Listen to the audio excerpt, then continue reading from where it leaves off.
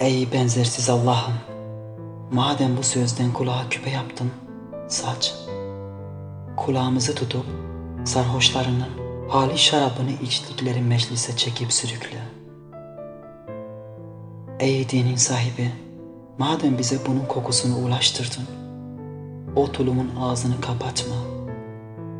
İster erkek, ister kadın olsun, senden içerler. Ey bağışta esirgemesi bulunmayan, yardım istenen. Ey dua edilmeden kabul eden. Gönle her bir an yüz kapı açarsın. Harflerden birkaç harf nakşettin. Taşlar onun aşkıyla mum gibi oldu.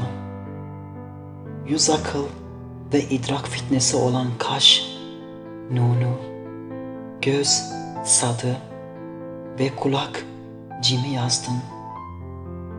O harflerden dolayı akıl ince eller oldu. Ey güzel yazılı edip sil.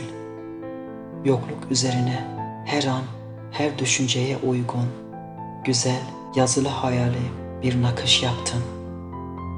Hayal tahtası üzerine görülmemiş harfler, göz, yanak, yüz ve ben yazdım. Yokluğa sarhoş olurum, varlığa değil. Çünkü yokluk sevgilisi daha vefalıdır.